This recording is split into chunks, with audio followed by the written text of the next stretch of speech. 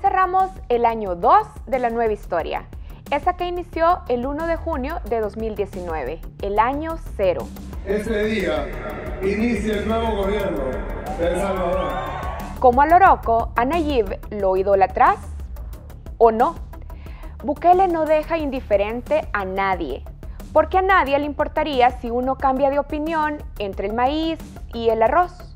Pero sí debería importarnos si el cambio es entre amar la democracia o abrazar una dictadura, respetar el trabajo de la prensa o convertirla en tu enemigo público. Gracias a Twitter, hoy podemos hablar de los dos Nayib, el del pasado, el que tenía la barba rala, el que pedía respetar las leyes y criticaba a los que querían el poder a cualquier costo, y el de ahora, con su gorrita para atrás, que sueña en verde olivo y que ha decidido ser su propio árbitro. El Nayib de hoy juega a los soldaditos mientras amenaza con tomarse por la fuerza la Asamblea Legislativa. ¿Y saben qué? Lo que ocurrió ese 9 de febrero de 2020 también hubiera indignado a Nayib del pasado. Los policías se unen a protestar con el pueblo defendiendo la democracia en Honduras. Vamos militares hondureños, demuestren al mundo de lo que están hechos y pónganse también del lado de la democracia. En 2017, por ejemplo, cuando el enemigo no era Soros, Nayib se indignó por la situación en Honduras, después de la reelección ilegal del presidente Juan Orlando Hernández. Caso de Honduras, hay gente que dice, no, Honduras no, porque Honduras es de derecha, pero Honduras es una dictadura, tanto que se impuso en una reelección ilegítima y luego perdió la reelección contra Salvador Narrala y luego hizo fraude en la elección, un apagón y luego salió, estaba cinco puntos abajo, después de un apagón estuvo cinco puntos arriba. No solo eso, ese consciente y democrático amigo pidió la intervención internacional para detener las acciones de Juan Orlando. El Naib de hoy, en cambio, tiene vocación de isla y le ha exigido a la comunidad internacional no meterse en los asuntos salvadoreños. O dicho en otras palabras, solo hay que ver la dictadura en el ojo ajeno. A Juan Orlando no le importó incendiar Honduras para mantenerse en el poder. Si la comunidad internacional no detiene esto, ¿con qué moral nos vendrán a hablar de democracia después? A nuestros amigos de la comunidad internacional, queremos trabajar con ustedes, comerciar, viajar, conocernos y ayudar en lo que podemos. Nuestras puertas están más abiertas que nunca, pero con todo respeto. Estamos limpiando nuestra casa y eso no es de su incumbencia. El Nayib de hoy juega a las marionetas y toma las decisiones que le corresponden a los diputados el 1 de mayo cumplió su promesa de controlar la Asamblea Legislativa y con ello descabezar a la Sala de lo Constitucional. Un par de años atrás esto hubiera sido impensable. No me crean a mí, créanle al propio Nayib. Cuidado con la instrumentalización de la justicia para fines políticos. A nuestro país no le conviene una nueva dictadura, y menos una que se da baños de pureza cuando todos sabemos lo corruptos que son. Nuestra democracia es débil, y hay muchos queriendo destruirla. En 2018, antes de convertirse en un instrumento de Dios, Nayib tenía claro que necesitaba un sistema judicial independiente. Cuidado con la instrumentalización de la justicia para fines políticos, escribió el viejo Nayib. A nuestro país no le conviene una nueva dictadura. A nadie le conviene una dictadura, Nayib, si tan solo te hicieras caso. No hay dictaduras bonitas. Una dictadura es lo opuesto a una democracia. ¿Y saben quién lo tenía claro? Cabal, el Nayib del pasado. En 2014, el entonces alcalde de Nuevo Jucatlán, voraz lector de medios incómodos, por cierto, abogaba por la democracia y sus pilares, entre ellos la libertad de expresión. No al uso de recursos del Estado para campaña política, sí a la libertad de expresión y organización, pilares de nuestra democracia. Este joven Bukele era tajante en rechazar el uso del dinero del Estado para hacer propaganda. Ojalá alguien le hubiera recordado ese tweet antes de fundar Diario El Salvador o de refundar Canal 10 con el único propósito de que le tiraran flores una y otra vez a su gobierno. El Nayib de ahora, sin embargo, aborrece al periodismo. En septiembre de 2019, por ejemplo, no permitió la entrada de periodistas a una conferencia de prensa en Casa Presidencial. ¿Saben cómo se llama eso? Obstaculizar la libertad de expresión. Ustedes son los mejores testigos de que somos un gobierno el más abierto a la prensa en los últimos 15 años. Sin embargo, durante la presentación de la misión técnica de la OEA para la instalación de las CICIES este viernes 6 de septiembre, delegados del Estado Mayor Presidencial bloquearon el acceso a casa presidencial de periodistas de El Faro y Factum a la conferencia de prensa. Bukele dedica parte de su vida en cadenas televisivas o su cuenta de Twitter a atacar a los medios de comunicación y periodistas que han expuesto casos de corrupción en su gobierno. Algo curioso si pensamos que se trata de medios irrelevantes.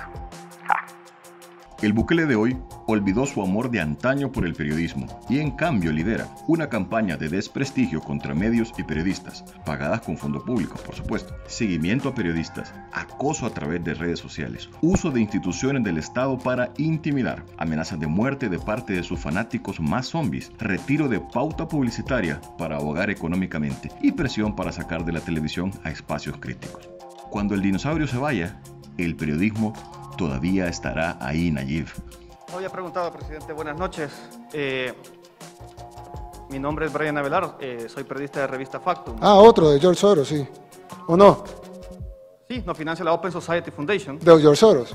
Sí, de George Soros. Ah, ok, perfecto. o sea, compañerito de gato encerrado del Faro. No es secreto, no es secreto, presidente, lo tenemos en nuestra página. No, pero no nos quieren entregar los documentos. Tus amigos del Faro, que también son financiados por George Soros, no nos quieren entregar los documentos de las donaciones que reciben George Soros. A Faro, pero a ti también te vamos a preguntar, porque son dinero que están recibiendo de una fundación y no se me están declarando impuestos. Correcto. ¿Puedo hacer la pregunta ya, presidente? Claro, claro, dale. Bueno porque antes de ser presidente, el joven Bukele tuiteaba sobre el trabajo de los periodistas para observar a los políticos. El Nayib de antes hubiese estado indignado con ese bloqueo, porque ese joven Bukele celebraba el trabajo de los periodistas como vigilantes del poder. Si nuestra política es mala, imagínenla si no existieran periodistas. ¿Vieron lo importantes que son? Felicidades periodistas. Extrañamos, Nayib del pasado. ¿Y saben quién también extraña al Nayib histórico? El partido que lo vio nacer, el que le abrió las puertas a la política, el que como él tenía el corazoncito a la izquierda.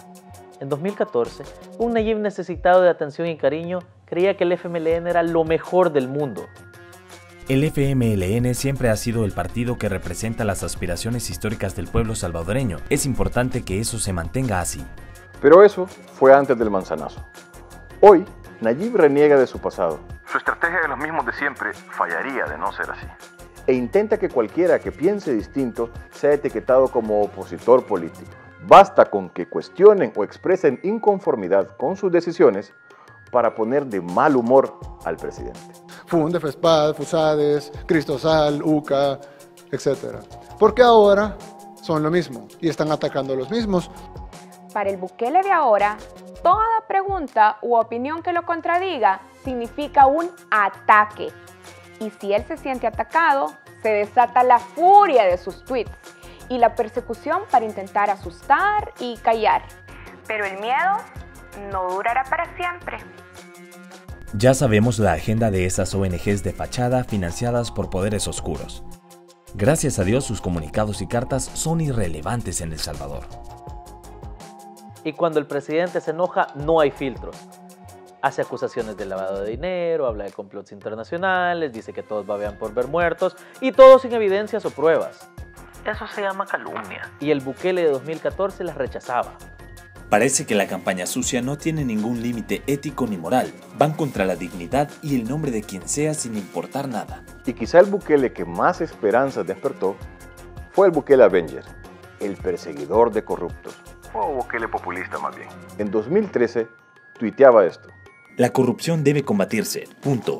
El que no esté de acuerdo es corrupto. Pero cuando el señalado de corrupción es, por ejemplo, su ministro de Salud o su exministro de Agricultura, primo de uno de sus mejores amigos y compañero fiel del presidente, el Bukele de ahora promueve leyes para evitar que investiguen y juzguen a esos funcionarios y él ni siquiera se pronuncia. La corrupción debe combatirse, punto. El que no esté de acuerdo es corrupto, es corrupto. Es corrupto.